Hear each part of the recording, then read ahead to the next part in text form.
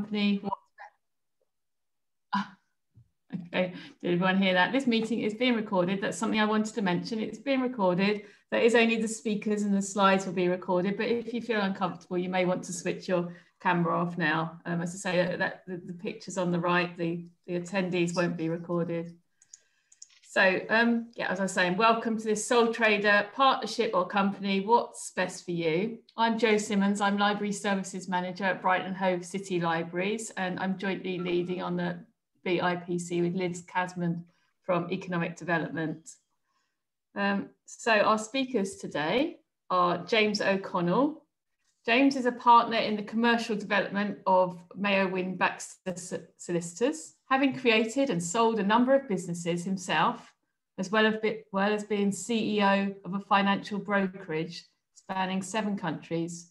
James will draw upon lots of practical experience to supplement his broad knowledge of business law. We've also got George Clayson. He's an Associate Director in the Business Advisory Team of Knill James Chartered Accountants. George provides accountancy and business advisory service to a large variety of startup and growing businesses and has extensive experience and insights into the challenges and fantastic opportunities that lie ahead for anyone starting out on their business journey. This event will help you understand why choosing the right business structure for you is crucial. George and James will talk you through the advantages and disadvantages of the three main types of business structure. Um, throughout the event, please put any questions you've got in the chat and we'll be pausing at, at different interview intervals um, to look at those questions.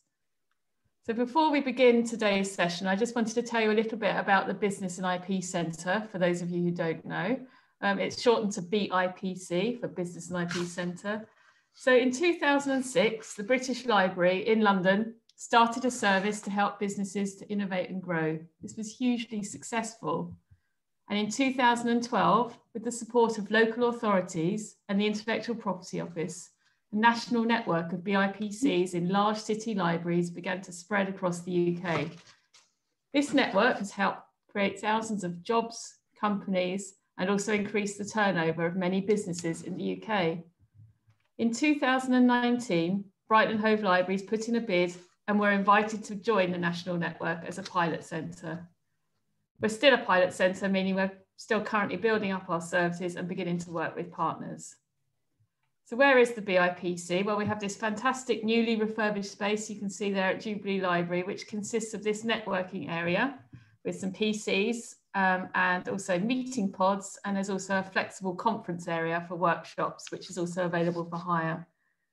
Um, we've also began working in partnership with West Sussex Libraries and East Sussex Libraries, uh, and they're developing um, spokes in some of their main, main libraries. So what does a BIPC offer? We have business and intellectual property information in the form of books, online databases, and a small team of BIPC specialist library staff who can help you access these collections. The BIPC staff and new business partners have started to deliver free practical workshops such as this one, and we'll also have one, we'll also be running one-to-one -one advice sessions. In the future, we'll be facilitating networking events so you can link up with other businesses. What's great is the BIPC is in a library. It's free, it's trusted, and it's a portal to other local and national services. We really want everyone, including those from marginalised or disadvantaged, disadvantaged communities, to use the service. We are looking to democratise entrepreneurship. So uh, briefly, just to let you know a bit about the databases, we've got 10 superb databases worth over £50,000. These are available for you to access for free with a library card. Some of these can be accessed at home, whilst others need to be used in the library. Uh, these databases are research tools that help you understand your market, competitors and customers' trends, and ultimately make better decisions whatever stage you're at. So one, for example, Cobra, that's the complete online business reference advisor. You can use this to explore business sectors, find business support, and make sure you're trading legally. It's great for anyone starting a business as, as there are over 500 business opportunity profiles covering businesses from pet grooming to snail farming, sign writing to crystal healing. Um, then we've got Grant Finder, which you can use to find uh, funding for your business if there's funding out there. Um, Newsbank, which is a global newspaper paper database. We've also then got company research databases such as Fame and Kompass. And you can use these to search for new sales leads and find out how competitors or companies in your supply chain are performing. Then there's local data online. That resource helps you to understand what's happening in the retail, sorry, the UK retail sector right now. So that's down to the particular town, street, or shopping centre. Uh, finally, we've got market and industry research such as IBISWorld, Mintel, Euromonitor, and EMIS. These can help you understand what consumers want in the UK and globally and why. They also show how different markets are performing and include future trends and forecasts. So not to forget the IP part of the BIPC, I want to touch on intellectual property.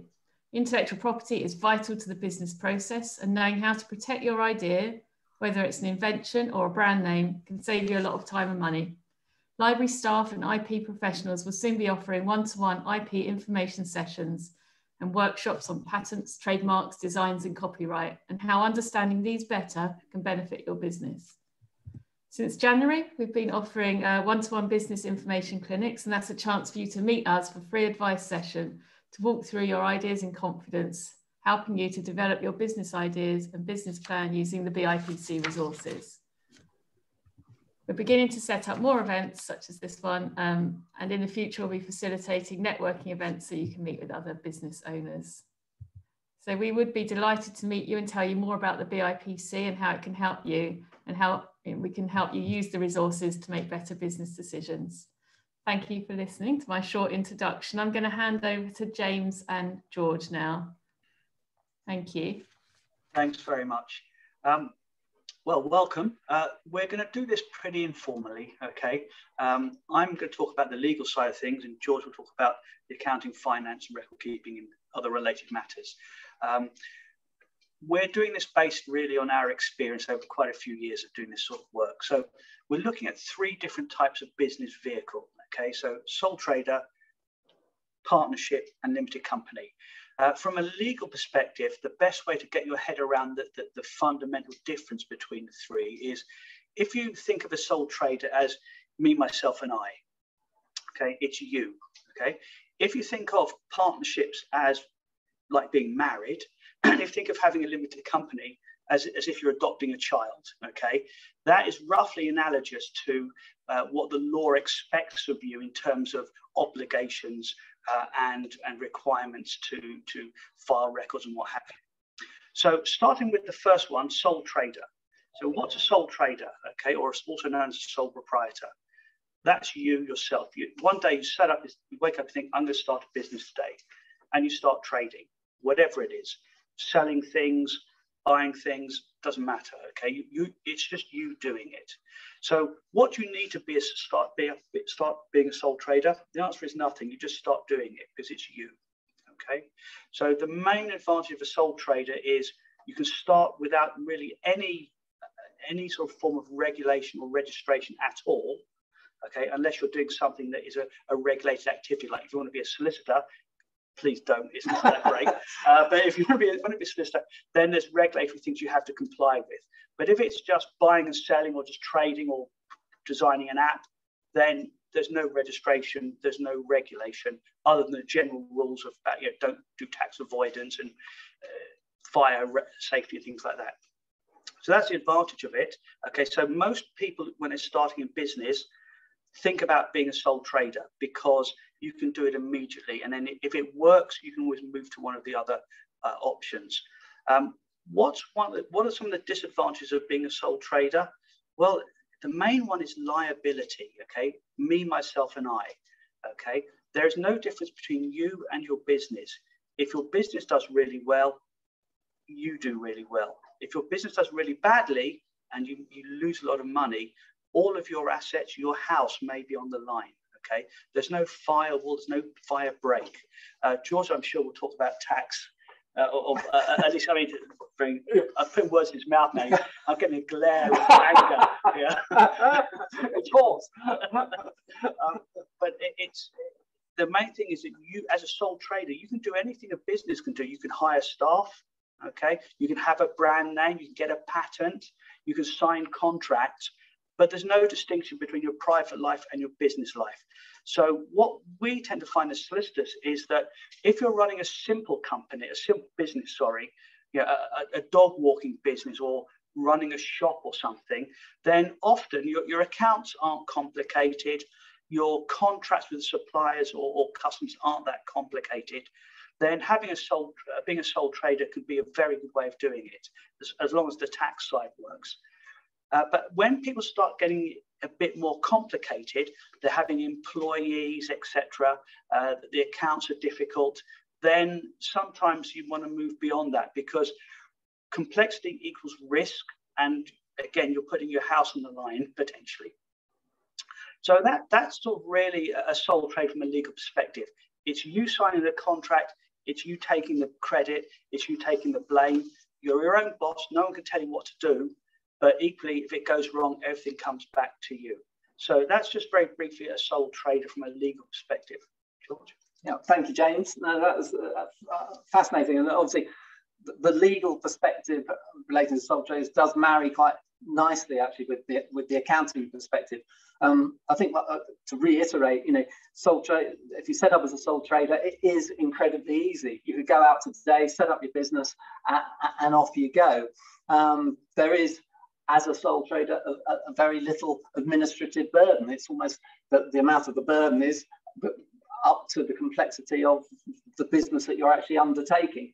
Um, and obviously, you do have a certain um, uh, responsibility in terms of your taxation and uh, with HMRC.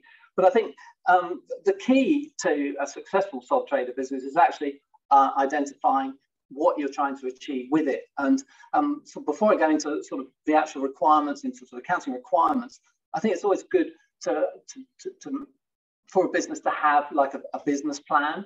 And I think that th- that is the key to understanding, I say, what your motivations are and actually where you want to take the business in the future. And if you can chart that out right from the very start with your business idea, you will have a, a, a much better idea of what's coming along further down the road and actually what your business is going to look like, whether it stays as a sole trader and then becomes a limited company, or whether it just continues to be a sole trader. So I would really emphasize right from ball one, from today, if you're thinking about setting up in business, to get down and do a really good business plan, um, which could be, you know, one page long, or it could be 10 pages long. It, it really doesn't matter. But as long as it covers off a lot of very important areas. And I, I just as a sort of an opener and a, and a takeaway, if, if, if, you do do a business plan, I think it should cover um, things like the, what is the unique selling point of your business? Um, what are your objectives? What are your personal objectives? What are you trying to get out of it? Is this going to be your main source of income, or is it just going to be a little bit of a part time activity? Um, that plan should also include, say, your future expectations, who's going to manage the business, how much time is it going to take up. It should also cover the marketplace. Who are you competing with and who you, who your customer is going to be? Really, really important to identify those things right from the start. Because if, if you go into it slightly blind, um, then actually you're probably planning for a bit of a, a, a failure ultimately. Um, the more planning you do, um, the better. So, and the, the, plan should also include an analysis of your competitors. Um, a plan should involve what you intend to do as far as marketing goes, and also detail about operations and how the actual business is going to operate. And finally, you do need to do like a financial overview. And obviously, this is where the accounts come into it. Say, how are you going to live off this business? How much income is it going to raise? And over what period of time? Do you know when you're going to get paid for the, the services that you're going to provide? And all, if you put all that together, it will help you in terms of, of deciding actually what might be, what is the most appropriate structure for you. Um, so given that you've put together a business plan and at this stage you're going down the sole trader route, there is a checklist of things that you do need to do to put in place from an accounting side. One of the key errors, I think, uh, uh, that people make when they start out as a trader is that they blur their personal and business expenditure. And I think it's absolutely vital from ball one to make sure that you split the two um, so that you identify business and you, you keep your personal personal. So set up a separate business bank account. Absolutely fundamental. Um, and if, if you do that, you then actually give the business a, a brand. You actually focus directly as that the business is a, is a self-functioning thing, even if it hasn't got a separate legal entity. You're actually investing and dealing and processing and administering a business. And I, I, I can't stress that so highly enough about how important that is. That you have to see the two as separate. Um, the next thing you need to do would be to register with HMRC as a sole trader, um, because any income that you make from your sole trader business will be taxed through your self-assessment. So that's something you can do online. And the, the taxation methodology is that you literally, at the end of each tax year, you put in the net income on your self-assessment tax return, which, as most people know, you have to then pay by the 31st of January in the year after the, after the following tax year. So the, the taxation is very is very simple in terms of, the, of what you have to actually um, process and the, the, administration of it. Um, the next key thing on the to-do list is choose a name for your business. It's, it's a pretty obvious thing to do, but it's, it's so important because it gives you, again, a focus about how and what your business is going to be like. Um, then the next key thing is actually to make sure that you've got the, the, the appropriate functions with uh, the, to, to operate and invoicing and getting making sure you get paid because there's no point in being business in business if you don't if you don't actually um, receive any money for it. And again, it's a lot of um, small business when they start out, they they don't necessarily think about what and how they're going to get paid and who is actually going to do that for you. Um, it's a, a key part of, of, of, of, accounting for your, for your invoicing. Um, we always recommend that you do uh, get a bit of accounting software which can actually take the ease um, and, and the, stress away from, uh, from you personally because a lot of the invoicing can be done automatically. Your customers can pay online. And we're a great advocate, again, right from the start making sure that you get your accounts sorted and that you get your um, accounts administration sorted. And the most easiest way, depending again on the complexity of your business, is to get a good bit of um, accounting software. We would thoroughly recommend Xero. Um, here at Knill James, we're Xero Platinum partners, and uh, most of our startup clients start using Xero within two or three months of actually trading because that is gets them into a, a really good way of administering their accounts, which is going to help them um, in, in the future. Um, as I mentioned before, as, as part of this checklist, you will be uh, will be paying tax, and um, and also you will have to pay um, national insurance as well. And um, again, we, we can probably cover that off separately because it's quite a detailed area. But you just have to remember that when you are doing your forecast and planning for your business, that you will need to uh, make sure that you you put enough money aside. And again, a lot of people when they start that they think, oh, that money coming in is mine, but actually it's not. Mr. Taxman is going to want a chunk of it. Um, so we often suggest that a, a, certain percentage of the income that you get in, you put in park so that you've always got enough money to pay the tax when it falls due, which I say through self-assessment, but will be by the 31st of January in the following tax year. Um, if your business is successful and it's, it's going to generate enough to, uh, uh turnover to, to, to, go over the uh, VAT threshold, you will need to um, register for VAT.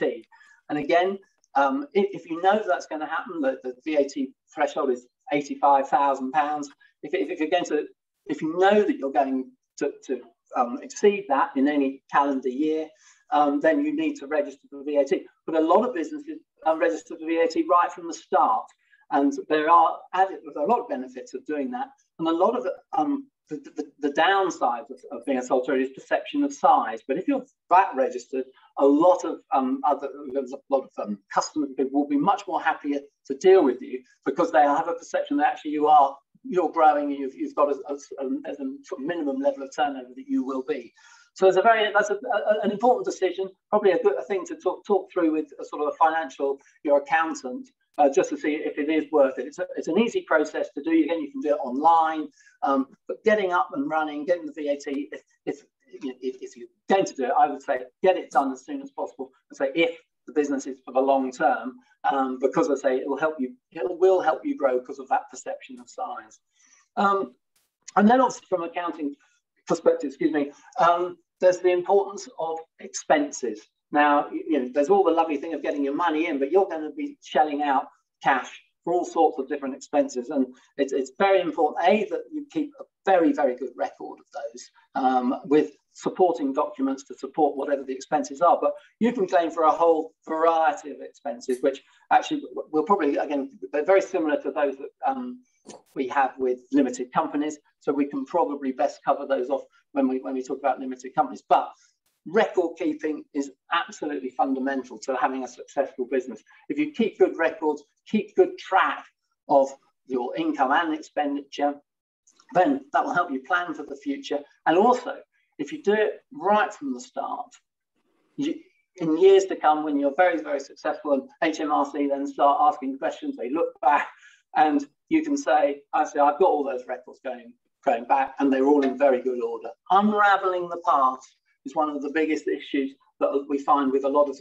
growing companies when they have to go back and find records from right at the beginning. So again, a, a sort of a, a, key takeaway from today would be if you're going to start a business, make sure you keep the records good right from the very beginning to avoid future mistakes. Um, and I would get the again accounting sorted, um, but also I think it comes back to where I came in as far as the sole trader. It's about your vision for the future. And one of the key things is to understand where you want, what you want to do with the business, what you're aiming to achieve with it. And I say that will probably dictate whether you decide to be a sole trader initially and then and then go up the, the food scale to a limited company, or whether, as we'll talk about limited company in a minute, but whether actually you just go straight in and set up a limited company uh, straight away. So I hope that gives a sort of little of the, of the sort of whys and wherefores of being a sole trader. It has benefits, obviously, because of the simplicity of actually setup. But the downside is that a lot of um, other businesses see sole traders as they don't want to deal with them so much because of the perception of size and the fact that the liability is actually is, is, on the individual rather than on, an, on a legal entity. And, and so a lot of larger corporates, they simply won't deal with sole traders. And it's probably a, a generality, but I think it is, is reasonably true. So there we are. That's my little piece on sole traders. Thank you very much, George. So uh, I, I, had one case where, when sorry, when I have cases involving sole traders, very often it is George's point, the failure to distinguish between what is their private life expenses and activities and what is the business's expenses and activities. Now, legally, there's no distinction, but the taxman has a big distinction. So if you try and claim yearly depreciation on your dog, okay, as a business expense, you're in trouble. Okay, uh, any, any questions uh, as we finish the first part before we go on to partnerships? Any questions? No? George, uh, or, or, George and James, I've got a question. Um, how do you go about being VAT registered? Is that just going to gov.uk?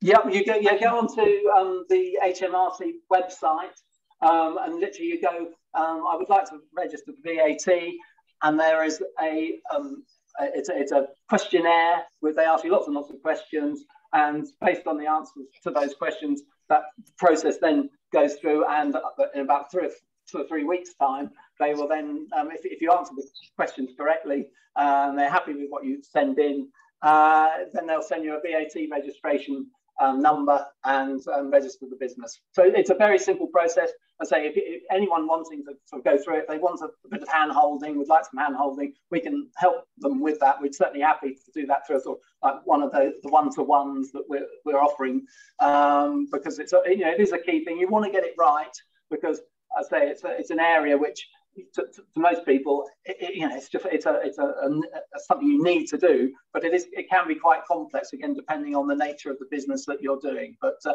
but the actual process and, and registration is yeah an online form that anyone can do. Thank you.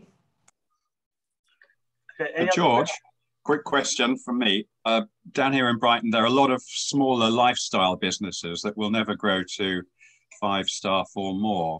And recent tax changes for earnings for um, limited companies using dividends seem to be mitigating against going the limited company route for those.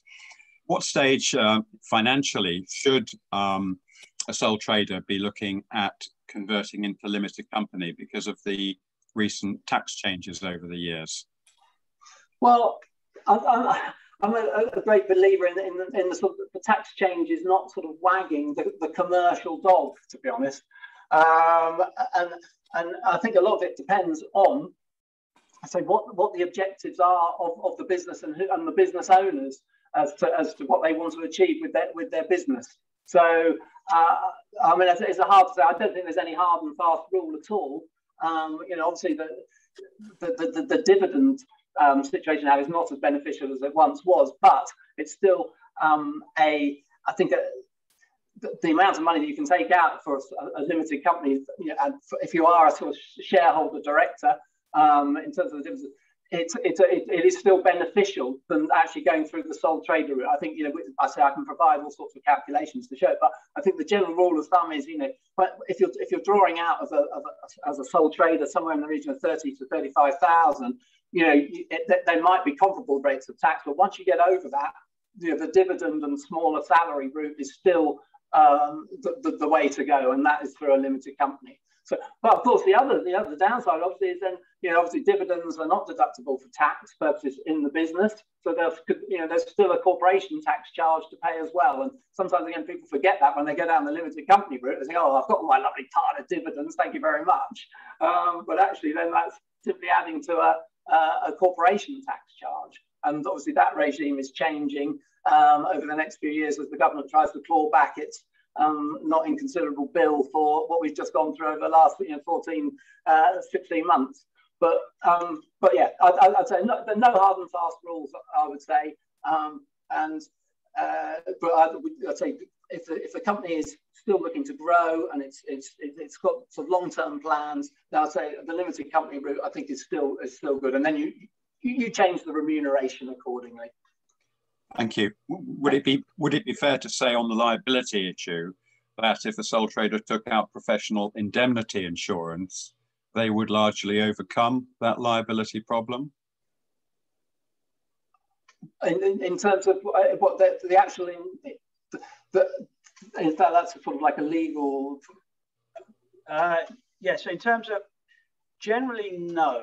Okay, uh, I, I, find I hope there's no insurance people here, but you know, insurers make it their life's work not to pay out. Okay, and I, you know, and the trouble with with liability is it can rise in a thousand different ways, and that gives them a thousand different opportunities to say, oh, the policy didn't cover that. I mean, look, they like look what they did on COVID. I mean, they just refused to pay, and it took the Supreme Court to say, look, it's obvious you should have paid.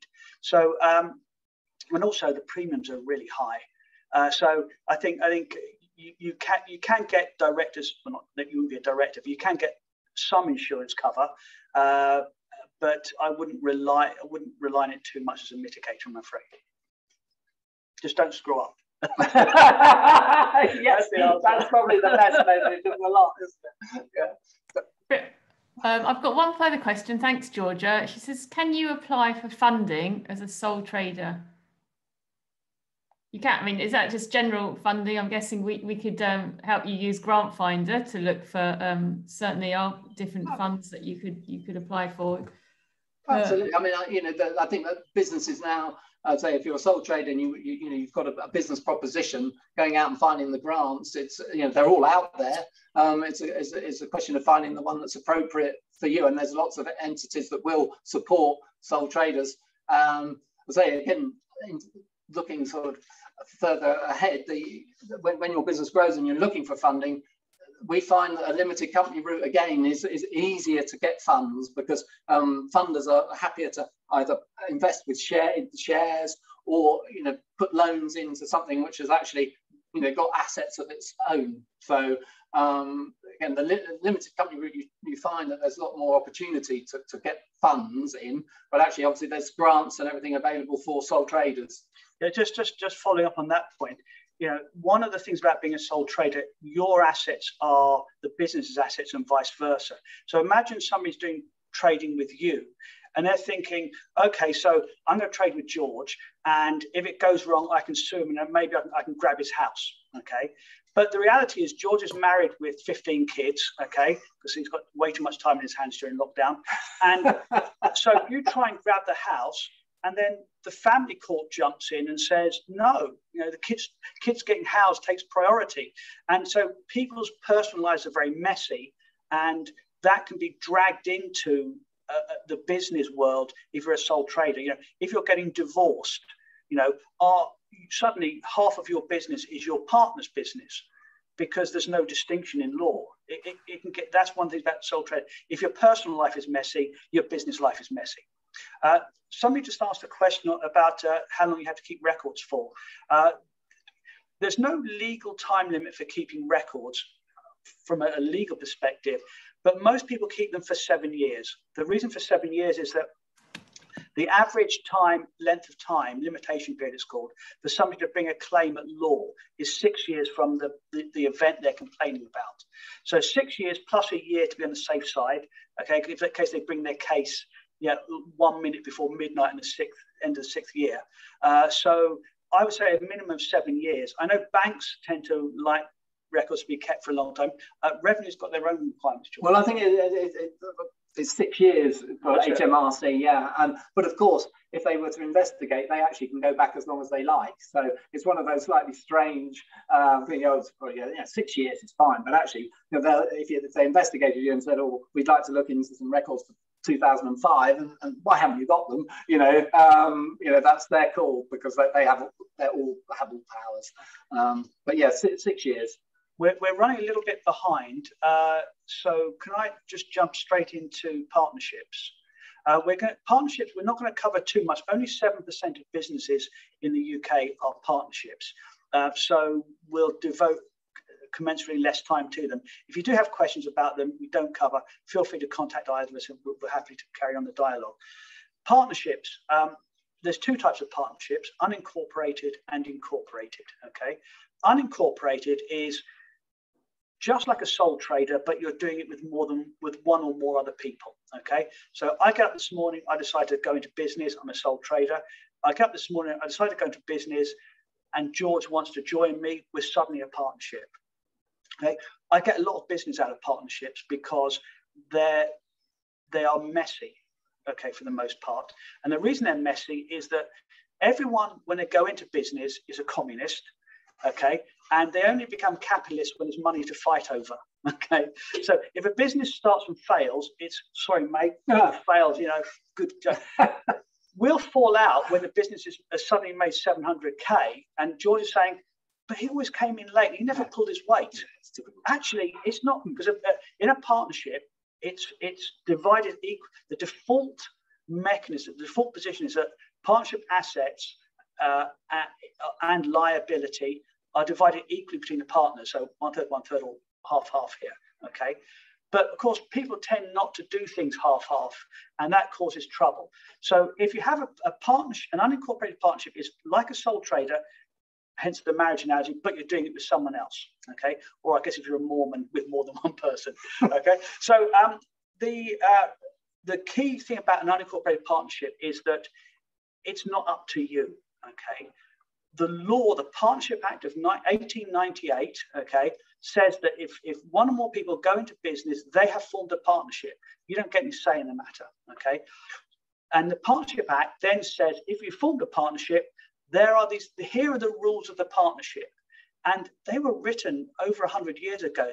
Not Some of them don't really work terribly well. The way you change them is by having an agreement to change them, okay? Have it in writing because everyone forgets. And when they remember, people tend to remember it to their favor. Okay. So have a partnership agreement that says, here, like a shareholders agreement, here's how we're going to run the partnership. Here's, the, here's how we share income. Here's how we share risk. Here's how we share assets. My I'm putting this asset into the partnership. Uh, let's say I own a yard and we're doing a haulage business. I'm not giving the yard to the partnership. If I gave it to the partnership, half of it would be George's immediately. I'm lending it to the partnership. Okay, so if the partnership ends, I get it back. So if you're doing a partnership, be careful about it. Okay, uh, and and do have a written agreement because when partners fall out, it's like a married couple falling out. Second type of partnership, which we're not going to go into, is uh, an incorporated partnership. My firm, Mayo Baxter Solicitors LLP, Limited Liability Partnership. So you can incorporate a partnership. And people do that because there are certain benefits sometimes in having a partnership structure in terms of decision taking, liability, internal liability, uh, and payment. But you want to have an incorporated uh, company that limits liability because talking about liability for unincorporated partnerships, one of the big stingers is if George screws up, not actually he wouldn't. So if I screw up, okay, George is liable. Okay. If I cheat, George is liable. So you have complete liability as a partner. I can sign something on behalf of the partnership. George doesn't even know about it, but he's stuck with it. Okay. So in the old days when you had law firms of uh, or accountancy firms of 30 40 partners that was high risk statistically you're going to get a bad one who's going to, who's going to cause havoc so limited liability partnership please caps your liability to the amount of assets put into the, the partnership, and it means that your your house isn't at risk. So, but okay, because of time, I'm going to stop there. Yeah, no, well, I, I, think on the partnership side, I mean, interestingly, you know, seven percent of uh, of businesses partnerships here at Knill James, we don't seem to operate for many um, partnerships at the moment. I mean, uh, it's, it's an interesting. I don't know whether it's a sort of cyclical thing or whether they come into you know, become trendy or not, or I, I, I, I, don't know. It's, it's certainly not a, a sort of a common a, a, structure as perhaps there was in in the past. I mean, the the, the, the accounting things that I've identified before for sole traders in terms of accounting records, um, the taxation, taxation is very similar um, for partnerships in terms of you have to um, submit a set of partnership accounts, but the individual partners are responsible for their own tax. And so the their uh, effectively their um, remuneration or income that they get from the partnership goes on their self-assessment tax return. Um, you have to say register the, the actual partnership, which has to submit a set of um, accounts to HMRC, but the individuals account for their own remuneration through self-assessment each year. Um, it's, it is a, a, reasonably complex area in terms of, of accounting due to the nature of partnerships themselves. They are complex beasts because that's what people are like. Um, and partnership agreements can be extraordinary beasts, um, with a bit, a, a, bit like rock bands and their uh, what they need to get on stage. Partners in certain firms need all sorts of goodies um, to make the thing work. Um, so I think, think that that's probably my main comment is that, that actually they're not straightforward. Um, and uh, so they're, they're not as common as perhaps they might have been in the past. And uh, so yeah, that, that, I, I, don't really want to say anymore. If, if, if anyone's got anything particular about um, partnerships, we can we can deal with those sort of like in one to ones. Any, any quick questions on partnerships before we go on to? I'm looking at the time here before we go on to uh, limited companies. Okay, I think I think uh, we've put them off. yeah, exactly. Well, it was actually suing me for goodness sake. Outrageous. Okay, so so that's so partnerships, uh, sole trader times five. Limited companies. Okay, limited companies used to be very hard to set up. Now they're very easy to set up. Uh, you can you can go to us. We'll charge you I know 400 pounds something like that to do it. Or you can go to companies made simple, 20 quid in an afternoon. Okay, it's that easy. Okay, um, and I think that's why partnerships have declined actually, because right. it used to be really hard. Setting up a limited company mm-hmm. a big deal, and now it's easy. Yeah. Okay, so a limited company, I said it, it's from a legal perspective, it's like adopting a child.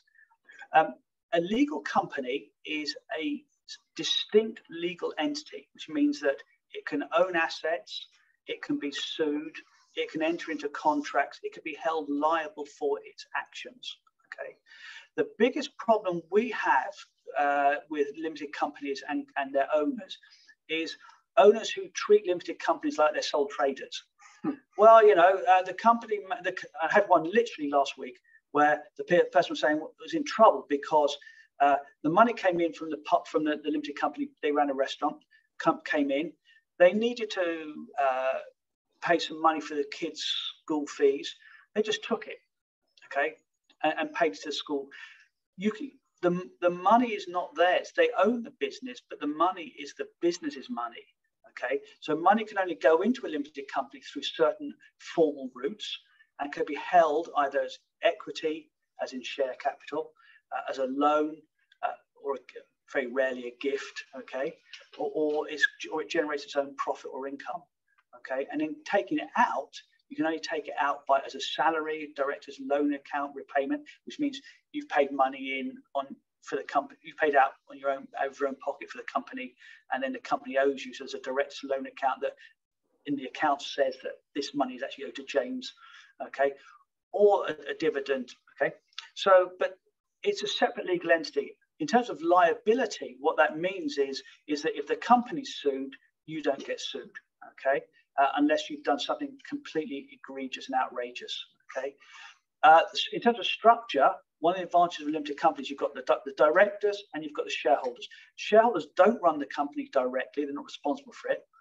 They can, behind the scenes, will have the power and influence because they can ultimately get rid of the directors. They've got leverage, okay? But the directors run the company and they take all the decisions for the company. Okay, uh, that's really useful. If you if you've got a complex business, it means you can bring in more than one person. Okay, they're employees or they are directors. The two are actually separate. Being a director is an office. Okay, so you can be a director but not an employee. You can be a director and an employee, which most of you would be as a small business. Okay, uh, or you can, and sometimes you can be an employee but not a director, but have the title director, like you know, executive vice president or executive director or sales director. You know, it's, it's, it's not actually a member of the board of directors. Uh, for the most part, limited companies are the way that most people go. Uh, it handles complexity very well. You can bring in investors very well. You can slice and dice rewards, responsibilities, payments, ownership a thousand different ways, of course you can't with a partnership. You can't with a sole trader. Okay, they are they, they're fixed in aspect those things. Company, you can mix and match a thousand different ways, and, and people do. Uh, it costs a little bit to run every year, but frankly, it's outweighed by the benefits. Uh, I think I'm just looking, I'm going to jump to George now, so I suspect there's going to be questions on this, so I'll, I'll jump back in at the questions. George. Yeah, okay, no, thank you, James. Yeah, no, I, am going to reiterate a lot of what you said because um, this, yes. yeah, I mean, obviously, the key thing about a limited company is the, the protection um, through limited liability. I mean, it's a fundamental difference between a limited company and being a sole trader. Um, so, which means actually um, there is in, essentially no personal liability arises from the company's operations to the individual running it.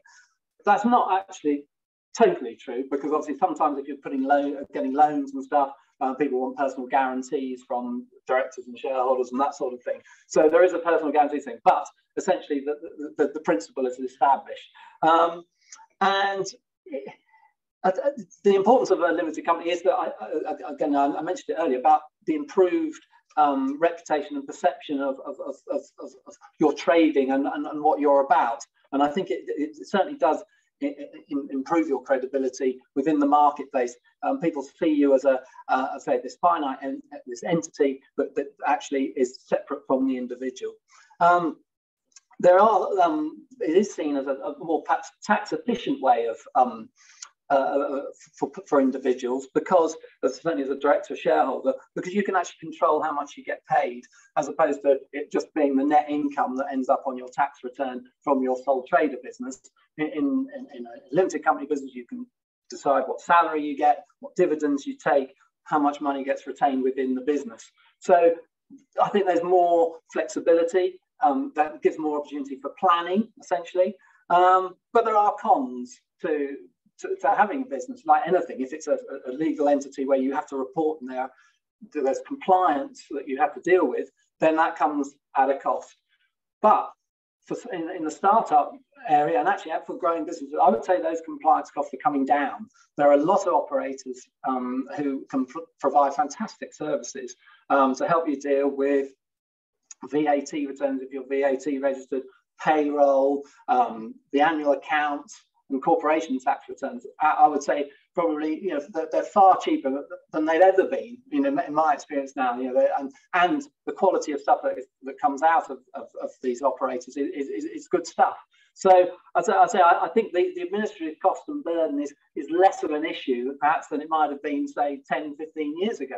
And that is, you know, due to the, obviously the digitization of everything, the fact that there is fantastic software out there that people can use to run their business from from their phone. I mean, it's you know it's quite extraordinary. You know that you just you do a VAT return just like that. You can almost use Xero to produce your your whole set of accounts um, and and enough information for corporation tax returns. Um, so I think that you know that's that is really important. I, I think if you make the step to being uh, uh, having a limited company, you do have to remember that you're taking on quite significant responsibilities as a director. And I think, again, it's a completely different, um, I think it's a different uh, mentality to but perhaps when you're a sole trader. I think sole traders sort of, there's a bit of a sort of, you, you feel like you can do whatever you like and you're not necessarily responsible to anyone apart from yourself. Um, with, with uh, being a director, you do have responsibilities in terms of having to be compliant for all sorts of things as far as Companies House, uh, HMRC, taxes, VAT, um, to, to, your staff, to, uh, uh and the, you have to behave in a certain way but is. Can I just jump in there very quickly? You can find yourself as a as the you can find yourself the owner of your own company because you've got all the shares. But you can act. But if you take the money out of the business the, or the assets, use them in the wrong way, you can find that you're actually being charged with defrauding your own company, even though you own you actually ultimately own it. It's not you. You've adopted a child. The child's got its own independent rights, and even though you own it, you've got to play by the rules that George is talking about. Otherwise, you can actually be taken to court for stealing from your own company. Yeah, absolutely. Um, George and James. Sorry, sorry, totally interrupted you. Just got a couple of questions coming. Oh, fantastic! Uh, Margaret's asking, what criteria should I use to find a good accountant? See if they look like Knill James.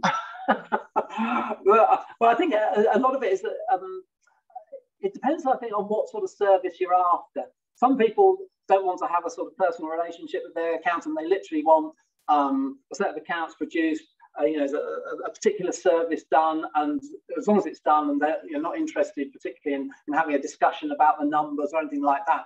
Um, and that's you know that's a personal choice. If it, or you want to have like a, a, personal relationship with the accountant who's going to be like your sounding board and business advisor. Um, so I think you sort of have to sort of decide that sort of relate is slightly relationship driven, and then obviously a lot of it is based on cost. Um, because I say if, if I go onto an online provider who can do my um, accounts and uh, corporation tax, uh, and that they do it through an online sort of platform, that's going to be a lot cheaper perhaps than um, the sort of full business advisory offering um, for um, you know, other like firms of accountants. So um, I think the, the, best way to do it is to go and literally talk to as many as, as you want to and just feel, you know, whether you feel that you would get on with these people, whether you, you feel that they would take your business forward. Because um, I think it's a very important relationship. But um, running a business on your own can be quite a lonely experience. Uh, and to have somebody who you feel you can pick the phone up to and have a chat with about anything and everything and, and all the business as well, I think is a very important thing. So for a lot of people, that is important. For others, it's literally a function that you need to get done. And you know, once it's done, you're not really interested in having that relationship. So uh, yeah, I, I, wearing my own hat as a, as a, a, small business owner, separate from Mayo Wynne the partner, uh, I find that I don't know what I I don't know when it comes to tax, even now after all these years. So issues like, you know, uh, is is this deductible? Is this a legitimate expense? Um, do, do, past losses get carried forward? Uh, if I will they charge me more tax a bit of net this year will they sorry if i made 10 profit this year okay will i have to pay some of next year's anticipated profit in advance if you don't really know tax okay, then be very wary about using these ultra cheap online systems that just fill in the information and then do it because you you may well be making big mistakes that are legal, so they're not going to pick it up, okay, but just not good for you. If you don't know about tax, you need some, you do need some advice. It's not that straightforward. Mm. Yeah, no, no, no, I agree. It, comes back to tax. I think it is the most complex area of, of, of accounting and bookkeeping and that sort of thing. Is it's I'd say reasonably straightforward, but tax is where the nuances are and actually where you can benefit as opposed to just somebody putting it in and not not caring about it. So yeah, and I'd, I'd agree with James there. Um, and, and a lot of online providers don't provide that sort of advisory service, whereas uh, a lot of other providers do. Brilliant. Um, thank you very much. We've got another question. Uh, Nicola's asking, how difficult is it to change from a sole trader to a limited company? that easy. uh, it's, it's very easy. Uh, the, the only, so uh, you could, the only complication is uh, when normally when you set up a business, a, a limited company, you'll let's say you you you have got to buy shares okay? They're normally one pound ordinary shares okay? Uh, if you want to look really cheap then you'll issue yourself one or two or ten shares okay? Which will immediately tell me that this is a, this is a, a hollow shell company um, okay? Unless i look closer and dig into it. Uh, so you so let's just say you're going to issue it with a thousand shares okay? So you put you pay a thousand pounds into the company's bank account and then that's you're up and running. Okay. If you've got an existing business, then you've got to port potentially port that business into the new company. Okay. If it's customers and things, that's no problem. You just say to them, I was trading as Margaret, I'm now trading as Margaret Limited. No big deal. Okay. Although, of course, it would be a new contract because the, the limited company is a different, different legal entity. So you may have to redo the contracts with them if you've got assets, you know, uh, you, there's a there's a van you used, or you've got you've bought a photocopier or whatever, then porting those assets into is more for George than me, happily to answer. But uh, that's that's an issue you've got to bear in mind that contracts have to change, have to switch across. If you've got employees, that can be is can be where it gets complicated because effectively you're you're, you're sacking them or making them redundant from Margaret and you're re-employing them in Margaret Limited. But employees are a whole different area. Mm. Yeah, no, I think, I think it is a reasonably straightforward process. I mean, in terms of just setting up the company and then trading as as you have been uh, um, as a sole trader, it, it, that's straightforward. It's the asset bit that is the, is sometimes the difficulty because you might trigger a disposal um, of when you transfer the assets across from being a sole trader into a limited company. That's the only thing you have to be wary of. But it's certainly not a um, not an issue that would stop you doing it by any stretch of the imagination. And actually, um, what happens a lot of the time is that um, depending on what those assets are, uh, if, if, there's just uh, say plant and equipment, they might be they might have reached the point where there actually there is no um, profit made by the sole trader and actually when those disposals are made into, into Newco. So I say you have to look at each each item on its own merits, but um, say the actual there's there's no actual formal process as such. It is literally you would set up your new company, continue to trade, get all the contracts changed, get you, you need to get your bank accounts changed, um, do the transfers on the payroll, uh, and off you go. Um, and it's uh, you know, and I think it, uh, we're finding interestingly in the current environment there are a lot of people doing this. Um, certainly, a lot of people who've, who've had sole trader activities.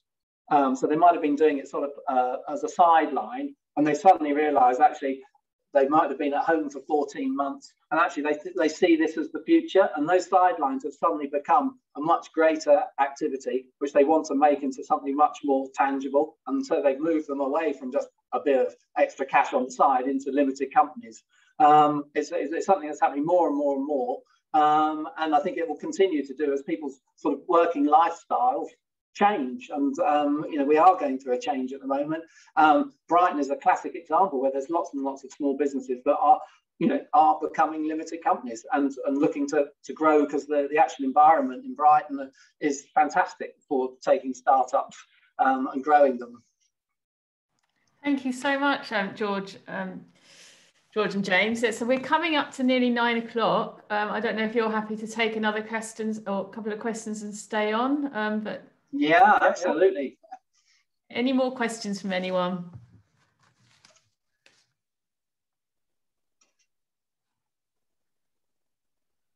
Not just yet. I, I just wanted to say at this point, and um, thank you so much, George and James. I've, I've absolutely learned quite a lot, a lot there. Lots of things I didn't know. It's been really interesting. I just wanted to point out to everyone on the call that um, George and James will be sort of doing one-to-one sessions um, virtually for the BIPC, hopefully starting in June. So look out on our Eventbrite page for those. Uh, and they're, they're absolutely free. So um, we will be following up this session with some notes. So we've got your email addresses from Eventbrite. And um, yeah, I do hope you found this session useful. We're going to put um, a link in, oh, thank you. Jeanette has put a link in the chat to the Eventbrite page. So do follow us on Eventbrite. You'll find out about our one-to-one information sessions and yeah, one-to-one -one sessions with our partners.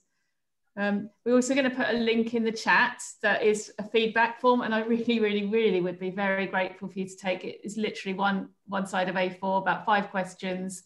Be so grateful if you could take that time just to feedback um, about the event and how you found it, how useful. Great, some lovely comments coming in. People have, have found it useful. Great session. Mm, yeah. yeah. Thank you for, for attending. Brilliant. Thank you very much really Thank helpful. You. Thank Thanks you. very much, everyone. Have a great day then. If there's yeah. no more questions, I should bid you farewell. Have a lovely day and thanks for coming. Okay, thanks, Joe. You too. Bye. Bye bye.